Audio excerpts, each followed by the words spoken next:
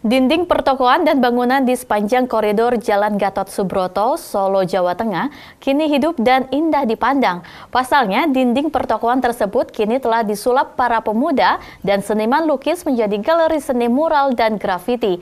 Kawasan ini juga menjadi salah satu destinasi baru di kota Solo. Menikmati seni mural tak harus jauh-jauh ke kota Gonton Penang, Malaysia. Di kota Solo, Jawa Tengah, kini memiliki seni mural yang tak kalah bagusnya. Ratusan seni mural tergambar di sepanjang pertokoan di Jalan Gatot Subroto, Solo.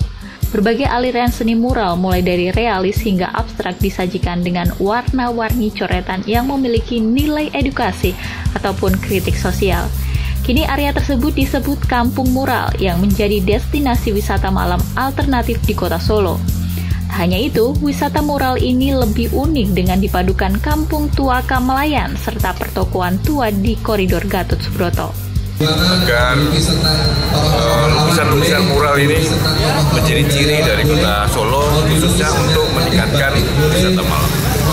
Bagaimana kita ketahui bahwa Solo terkenal dengan Never Sleep City kota yang tidak pernah tidur ya, setelah berkuliner maka akan melihat menikmati seni mural di zona-zona di jalan-jalan protokol di Virus, salah satu warga yang juga pemilik salah satu toko yang di mural, mengaku sangat senang dengan lukisan mural ini dan berharap tidak hanya indah namun pengunjung tokonya juga ramai dikunjungi saat buka.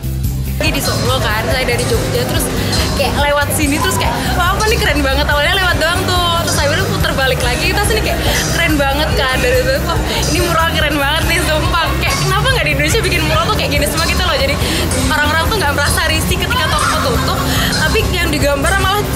coretan-coretan nggak jelas pakai pilok gitu kan terus ini tuh udah keren banget sih sumpah konsepnya udah keren-keren pak aku lihat Aktivitas kesenian moral di Gatot Subroto ini menjadi salah satu upaya bagi pemerintah kota Surakarta untuk menghapus vandalisme dengan menyediakan kawasan berekspresi di kota Solo.